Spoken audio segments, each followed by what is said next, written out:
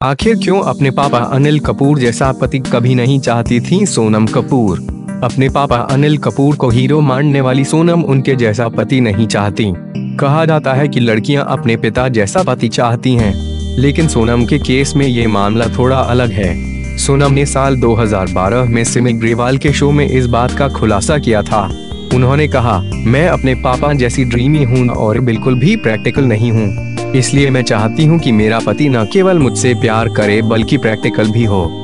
सोनम ने बताया, मैं और पापा कभी कभी बेहद बचकानी हरकतें करते हैं। हम दोनों का नेचर बहुत हद तक मिलता जुलता है। इस वजह से मेरी माँ बहुत परेशान भी रहती है। सोनम का कहना था कि उनकी माँ उनके लिए ऐसा पति चाहती हैं जो शांत और प्रैक्टिकल हो। अब फाइनली सोनम की ज़िंदगी में आनंद की एंट्री हो चुकी है। दोनों आठ मई को हमेशा के लिए एक दूसरे के होने वाले हैं। शादी मुंबई में होगा। सुबह आनंद कारज के बाद शाम के वक्त शानदार रिसेप्शन पार्टी रखी गई है। पहले कहा जा रहा था, एक रिसेप्शन दिल्ली में होगा। लेकिन अब कार्ड सामने आने के बाद शादी की सारी डिटेल साफ़ हो गई हैं।